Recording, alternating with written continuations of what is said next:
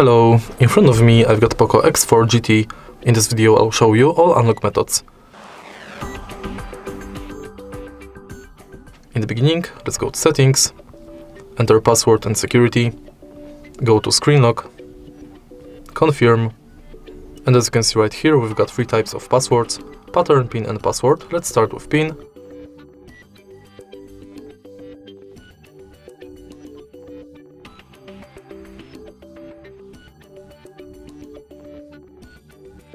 And now enter the pin containing 4 to 16 digits.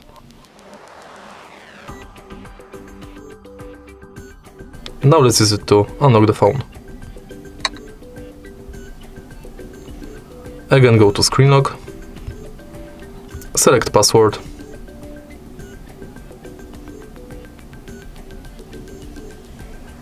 and enter your password.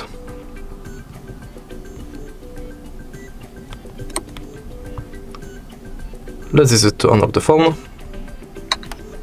And in the end, let's set pattern.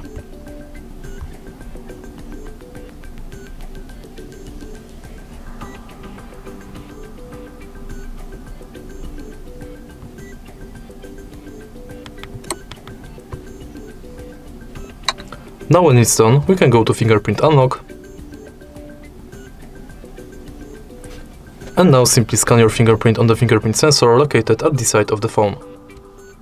Simply tap the sensor multiple times and each time adjust fingerprint position.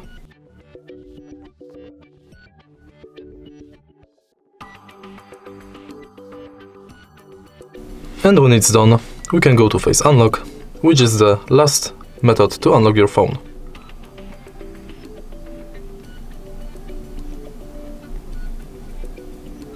Simply scan your face in this area.